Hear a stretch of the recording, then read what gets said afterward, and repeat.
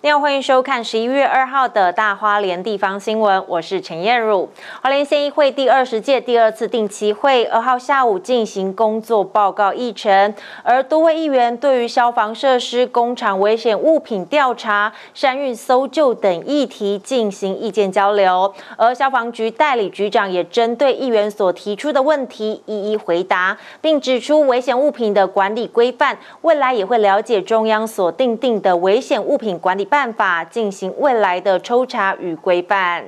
花莲县议会二号下午，花莲县政府各局处室进行工作报告，而多位议员也对于花莲县消防局在消防设施善于搜救、工厂危险物品的存放，是否有定期进行抽查检验，提出相关的意见，与消防局进行讨论交流。查我们消防栓是否堪用。好，第三点，各种集合式的这个住宅。是否有定期性的消防演练？好，那本席最近那也接获啊，有乡亲在陈请啊，那我们住户啊，将近百户的一个住户啊，哈，他消防栓的下面竟然下面是没有水管。那本席接获陈请以后，那也到现场去看，就实际上看，真的有几个哦，消防栓的下面竟然。下面是空的。那花莲县山域面积又是我们全国最最多的，也是全国之冠。我想要了解到花莲县一年山域所发生的一些事故数量有多少？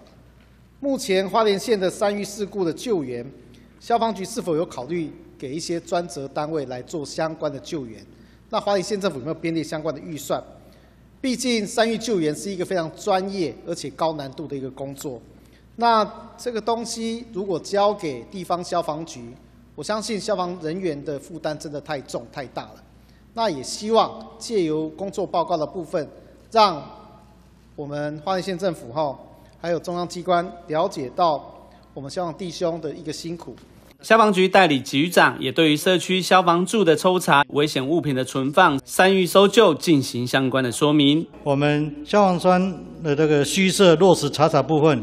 呃，易做题的是指应该是指社区大楼部分了哈。原则上，我们如果是在道路上一些我们呃公所跟自来水设置的消防栓，原则上应该是不会有这个问题，因为我们每个月都有做测试。啊，至于那个社区大楼，它的消防栓虚设部分，因为消防栓也是属于他们检修申报的项目之一。哦，原则上我们在检修申报时候都会有一个检查，还有一个测试，但是不见得每次都有测试到了，因为我们是抽检方式。好，那这个部分我们也会要求，呃，后续我们同仁在进行呃社区的安检的时候，哦，针对消防栓的部分会特别去做。检测啊，另外那个魏家贤一座有提到三亿的部分哈，那我们今年总共有四十三案的三亿案件，总共出行两百四十人次，获救总共有四十人。哦，啊这个部分呃，其实我们有跟署那边建议过哦，就是说是不是成立一个呃一个专责的单位来做三亿的搜救，或是说呃有民间救援团体，就是说如果后续的山难发生时候。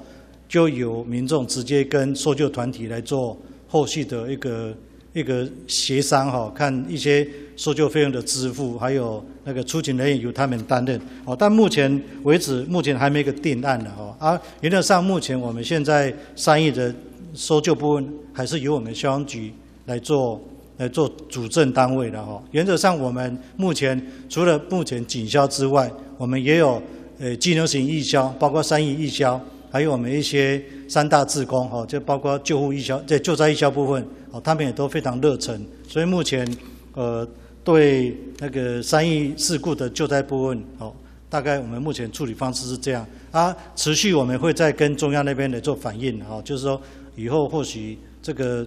救灾的部分可以委由民间单位，或是由那个中央成立一个专责的搜救单位机关来负责这一块。代理局长也表示，对于消防栓的新设是由乡镇公所所管辖，而水源的供应则是由自来水公司所负责。工厂的危险物品存放，未来也会参照中央的规定进行更明确的规范与调查。记者林杰花莲市采访报道。